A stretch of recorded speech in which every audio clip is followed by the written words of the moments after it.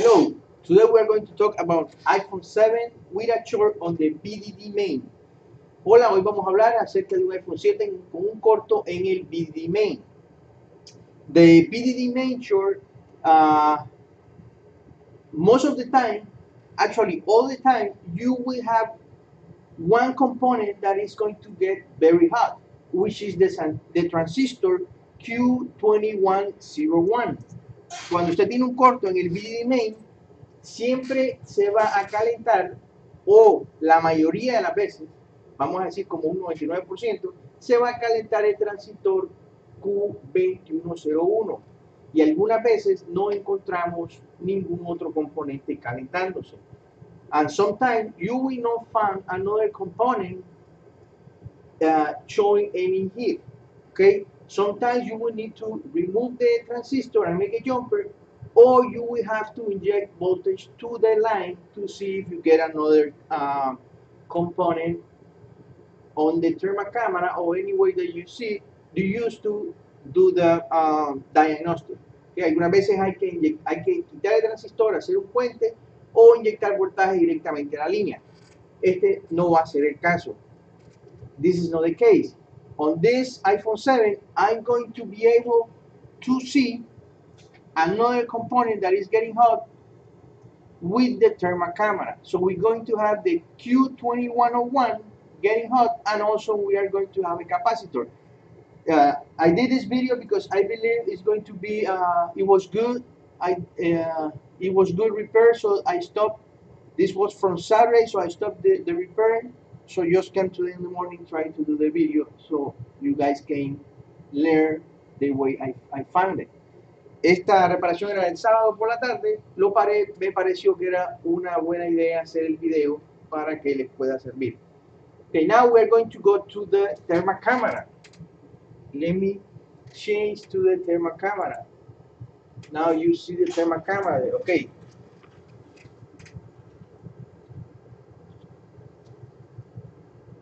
Okay, we have the thermal camera. Now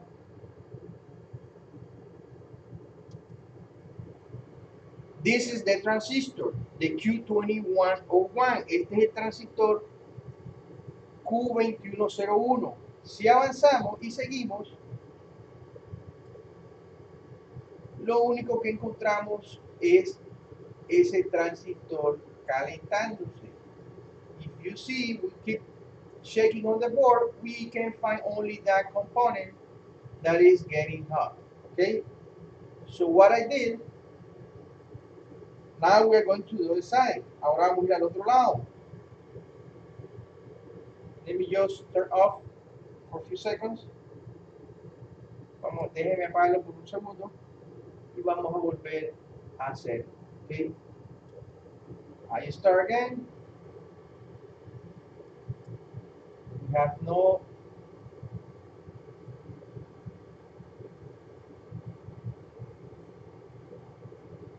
here you can see we have another component that is getting hot. If I turn off, now it's off. Como vieron, hay otro componente que se está calentando. Lo apagué para volver a ver. Y efectivamente tenemos ese capacitor que se está calentando. As you can see, we do have that capacitor that is getting hot. So let's just continue inspecting the board. And that's the only one.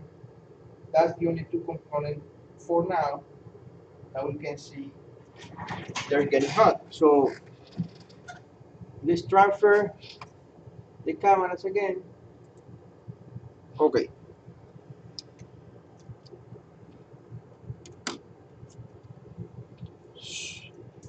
I remove the chill so you guys can see this and the capacitor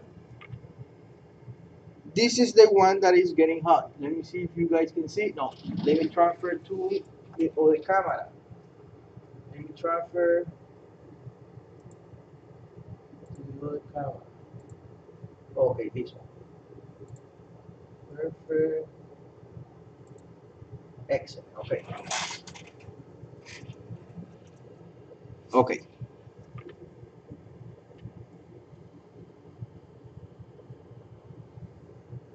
Okay. This is the capacitor that is right now showing us that is getting hot, okay?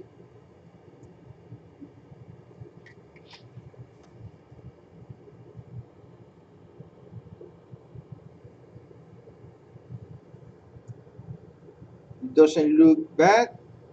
No it's not crack or anything but it's let me see if you guys can see there.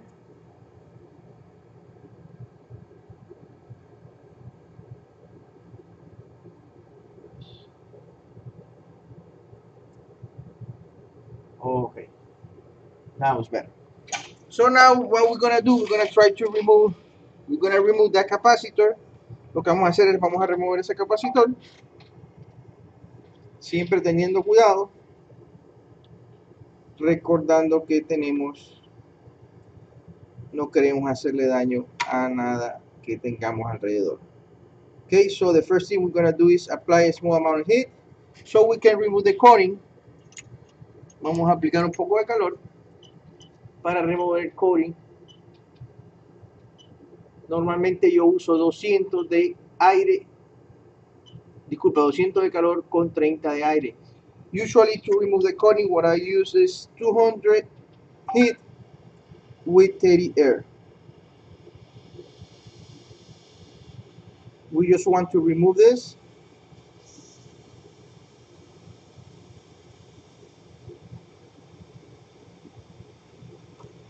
Sometimes I use the preheated too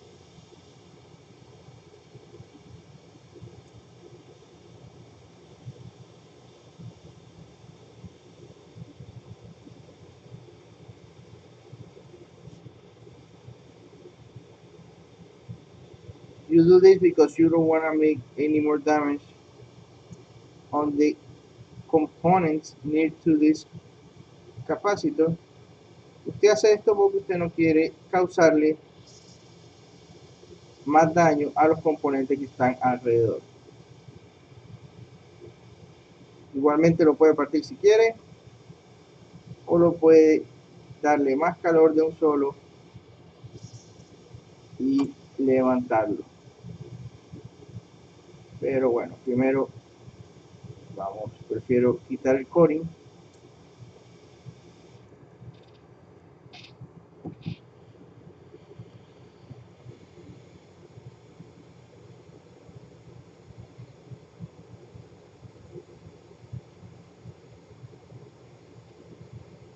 Está dado el coring. Lo sabemos que no vamos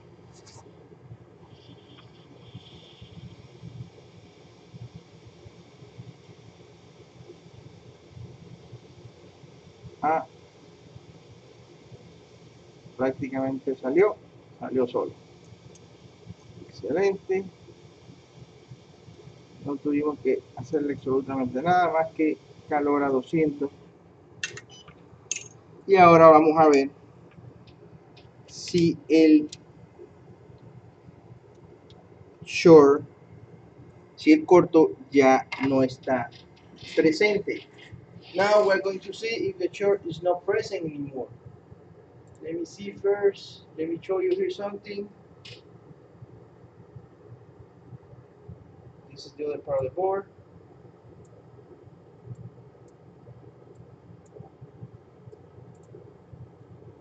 This is the capacitor that it goes to the VDD main and this is the one that is that was getting hot.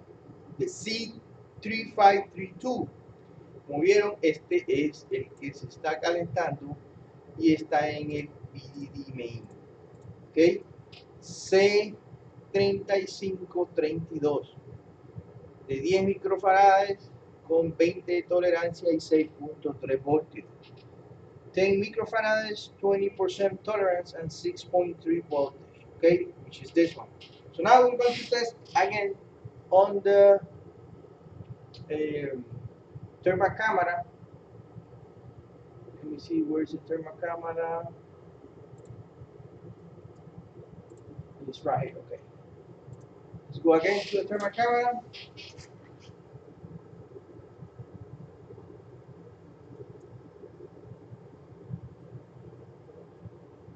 Now we're going to test it again to see if that was the only issue. You can see now the transistor which is the transistor which is this one here is not getting hot anymore.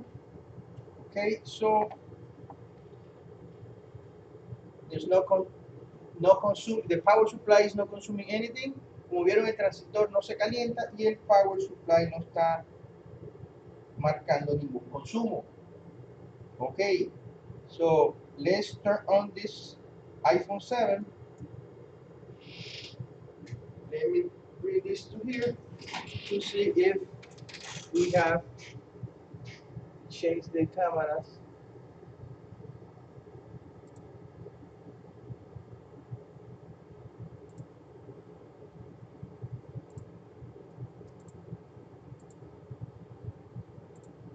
Okay here we here we go now oh okay now we're going to change and we're going to test this iPhone 7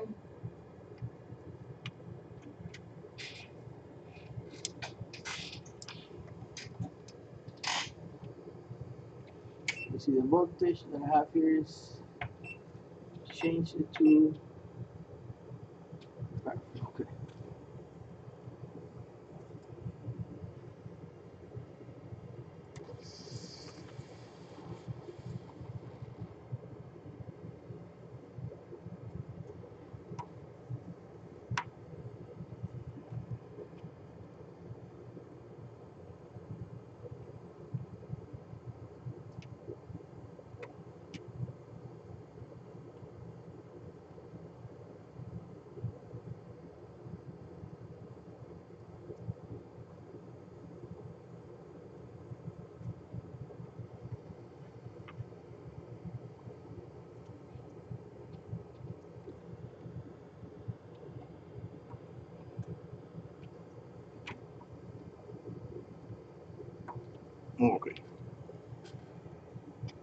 Now we are going to use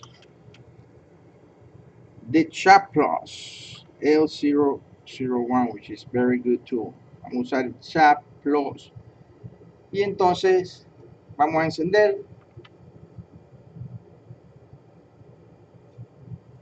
Y como ven, efectivamente, ahora sí vamos a poder, hemos podido reparar este teléfono.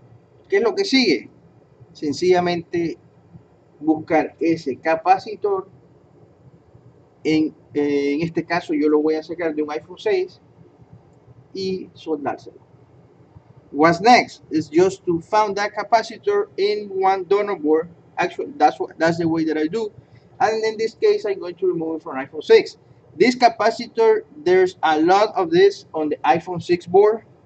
You can see it's on. So you are going to be able to find it on the iPhone 6 okay?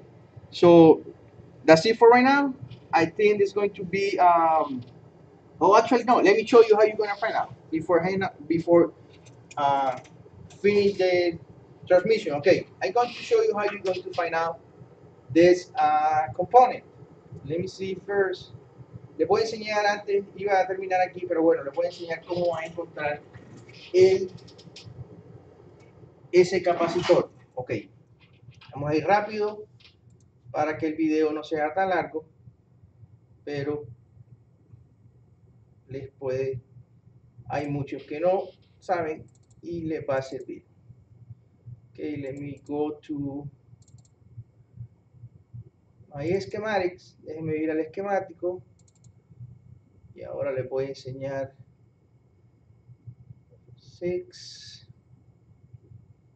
this is an extra. I was not supposed to, I was not planning to do this on the video, but let's just trying to let you understand how you're going to find this component in another board.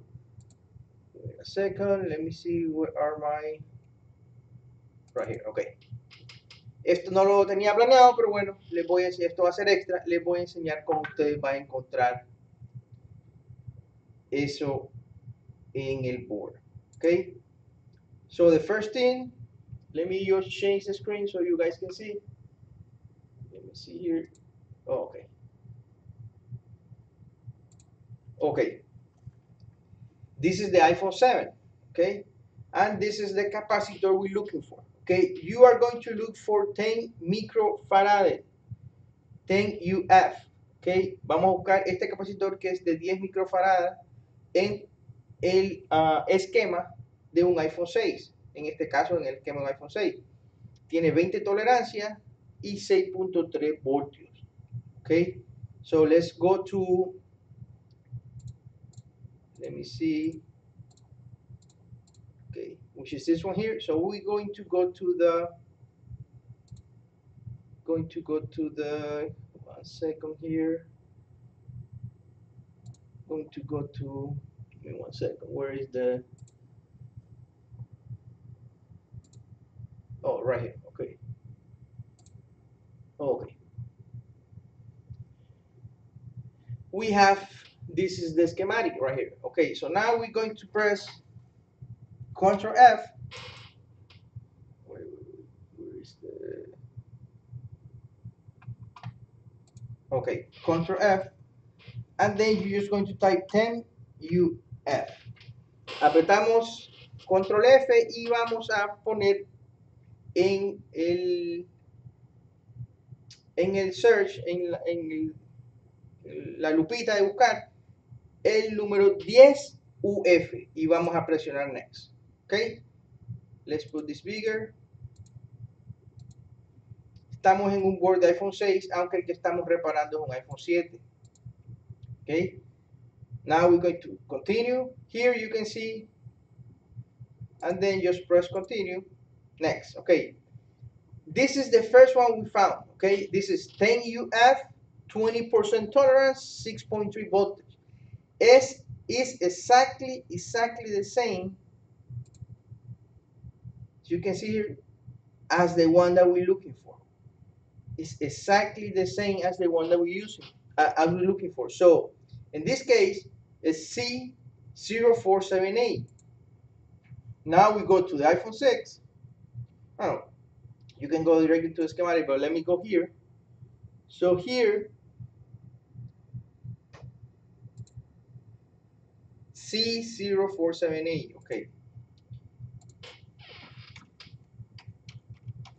Okay, we type there, and then we're just going to, right here. Lo escribimos y solamente lo vamos a buscar. Y como ven, lo tenemos aquí.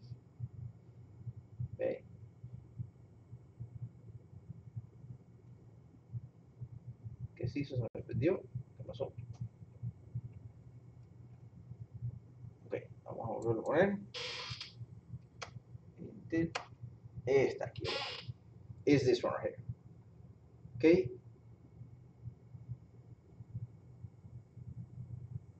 So you can see there is this one right here. Como pueden ver, es este que está aquí. Y está cerca de arriba de la NAN, cerca del PMI. Okay? Is above the NAN and under the PMI. Okay, so this way you just remove that one, just remove that one, and then this one right here, you can solder back to the iPhone 7, ¿ok? Lo quitan y lo ponen de nuevo en el iPhone 7 y de esta manera van a solucionar de una manera exitosa el iPhone 7. Ok, so that's it for right now. If you like the video, please give me a like. If give me a comment. Si les gustó el video, denme un like. Y si no les gustó, denme un comentario. Déjenme cambiar un momentito aquí para... Exacto. Thank you. Bye bye.